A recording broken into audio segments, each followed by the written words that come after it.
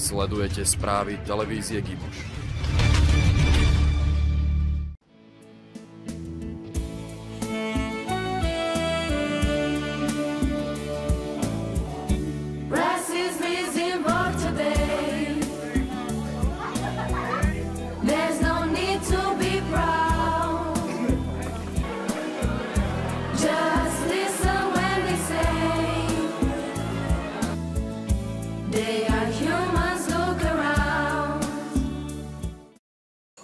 Od 6. do 10. júna hostí spojená škola Juraja Heniša v poradí tretiu mobilitu projektu Erasmus+.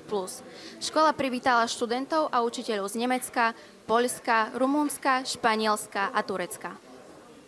Témou projektu je začleňovanie znevýhodnených skupín do spoločnosti, pričom môže ísť o rasové, náboženské, sociálne alebo zdravotne znevýhodnené skupiny.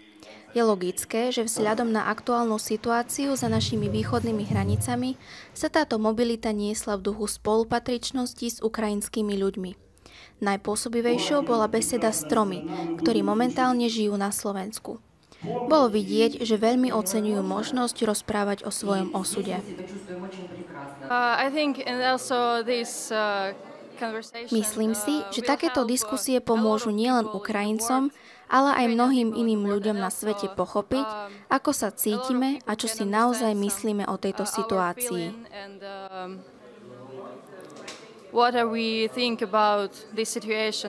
Projekt sa venuje sociálnej inklúzii, pričom každý štát má inú umeleckú formu, prostredníctvom ktorej ju musia vyjadriť.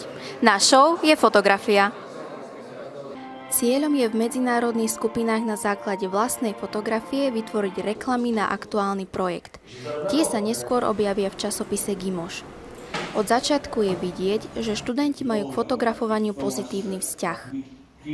Veľmi rád fotím seba, prírodu, priateľov, lebo to spája ľudí navzájom, spája to ľudí s prírodou. Vlastne fotografia spája všetko so všetkým. Fotenie ma baví, aj keď nefotím profesionálne. Vždy, keď to ide, vyťahnem fotoaparát a fotím všetko, čo sa dá. Samotné fotografie však nestačia.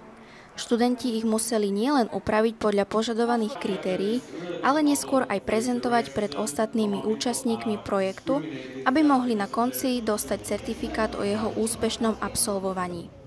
Spokojnosť s priebehom celej mobility vyjadril aj koordinátor zo španielskej Girony.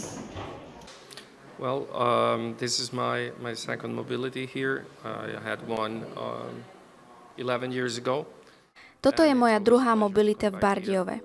Bol som tu pred 11 rokmi a je pre mňa potešením sa sem vrátiť. Páči sa mi mesto aj možnosť znovu spolupracovať s Marianom a poznám aj Braňa, ktorý bol v Girone. Doteraz sme sa tu mali výborne.